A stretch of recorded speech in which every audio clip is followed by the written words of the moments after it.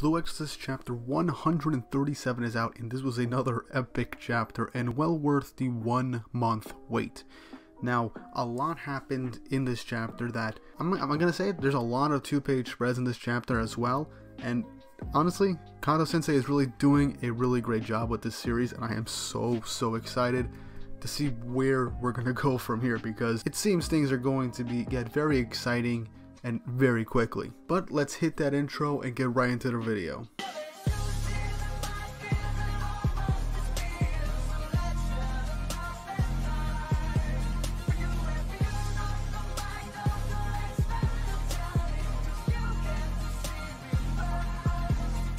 So chapter 137 of Blue Exorcist titled Of One Cloth Affliction, which starts off from last time where Satan took a freaking rocket launcher to the face that was designed to to try and kill him. Everyone is celebrating that they got a direct hit, and Pheles is actually complimenting Yukio for managing to land the shot. But he says the real task lies ahead.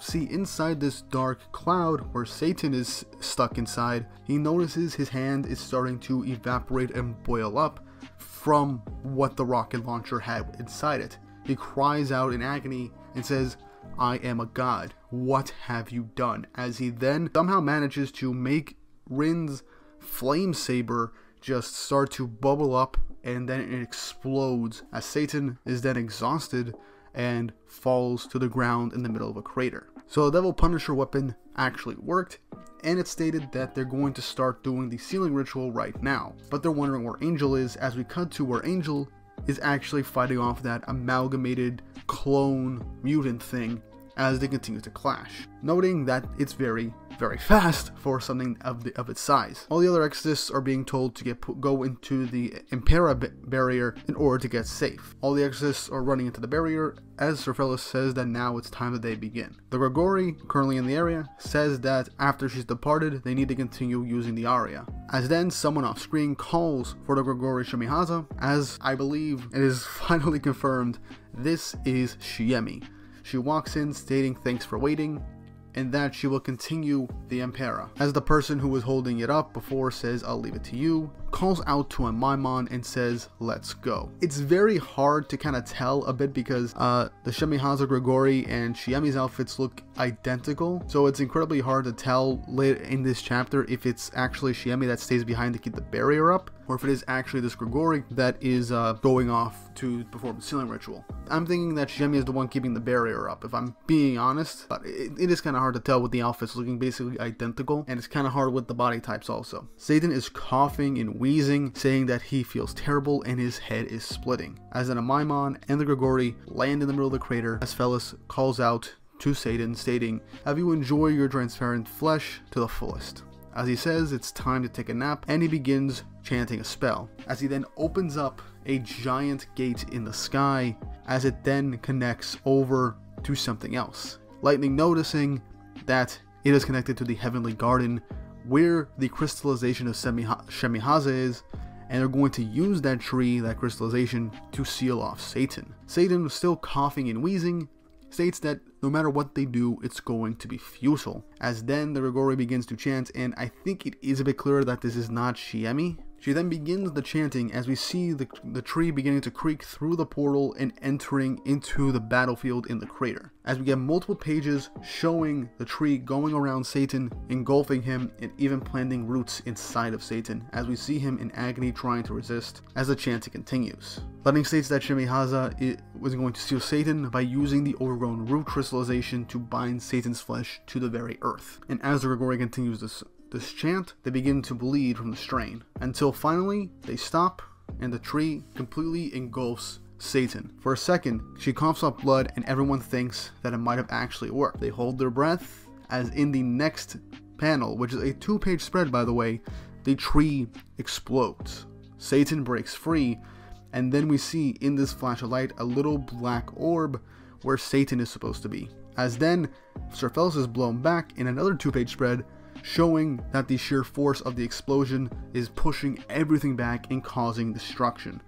But then, just as soon as everything begins to be blown away, this dark void that was created by Satan ends up reversing the course of the explosion as it begins to suck everything around it in through a giant vortex like it's a black hole in another amazing double page spread. Seriously, I think Kondo Sensei is really laying it in with these double page spreads to make the month wait worth it for the fans, and I'm all happy for it because they look amazing. We see images of debris and buildings and pieces of, of the airship that the Illuminati had previously getting sucked up in there, and we get to see an image of this little of the barrier. Shiemi is still trying to keep it up, but it seems like the sheer force of this whole barrier cannot keep up with the giant black hole type thing that is absorbing everybody and everything around it. So it seems like everybody's trying to evacuate through the door connecting to True Cross Academy. We then cut back briefly to Angel fighting the amalgamated clone creature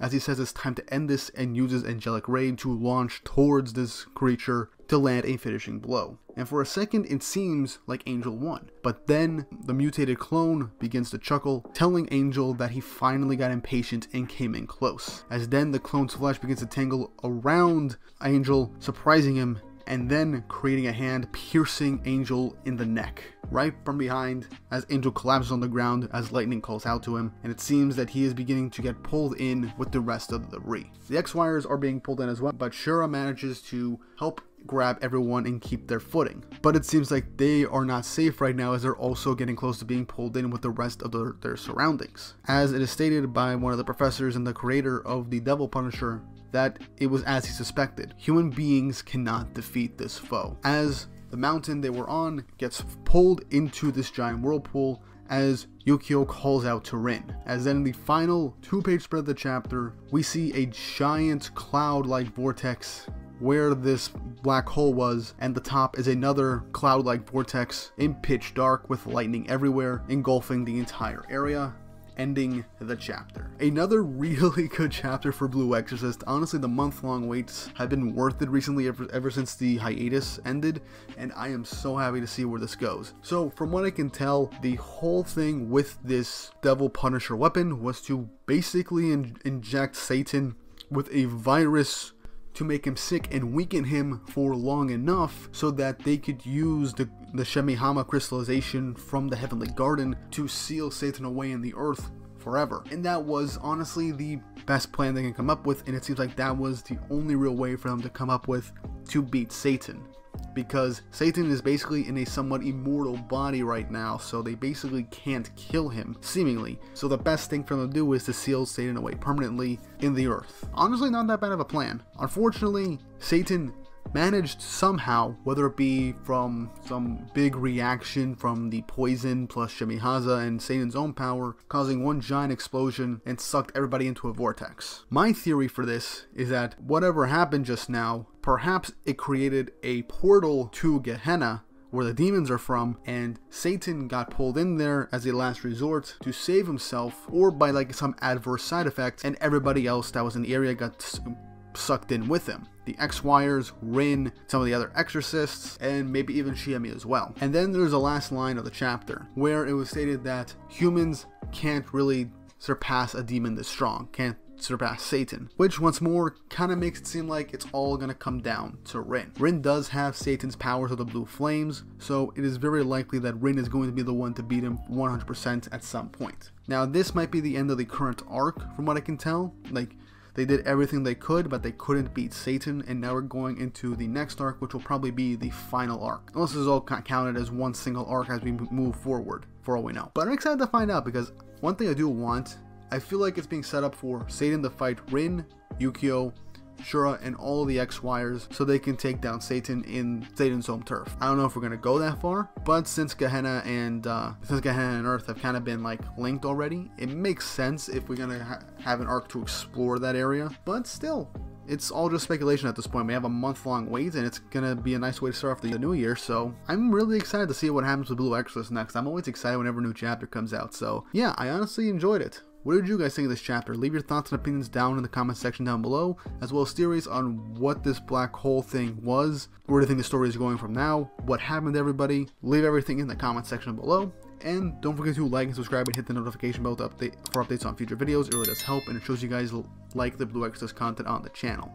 I will continue to bring you guys Blue Exorcist content every single month, so don't worry about it. And with all that said and done, I hope you guys enjoyed the video, and I hope you all have an awesome day.